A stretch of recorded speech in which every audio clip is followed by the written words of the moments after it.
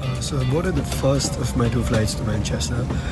It's going to be a long journey, but I am so excited. It's going to be all worth it as soon as I get to see my favorite team take the field.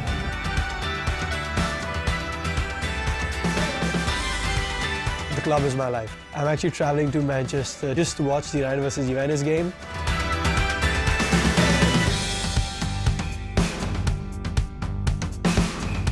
I think it'll all be worth it just watching the team play, even if the result goes bad, which I hope it doesn't, because the atmosphere is going to be absolutely incredible.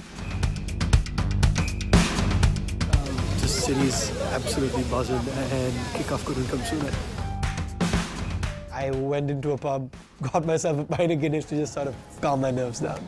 It's a team that we follow week in, week out. Back in Bombay, we meet at a pub every week. We're singing and chanting even though the players can't hear us it's definitely worth watching this team. It's, it's just, it's such a part of life. I'm just so excited, like 8 p.m. and kickoff just could not come sooner.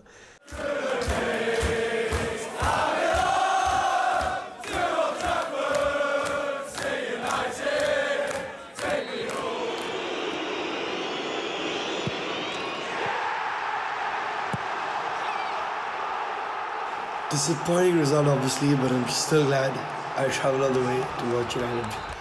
I have to be up again in six hours to catch my flight out of Manchester, so time to sleep.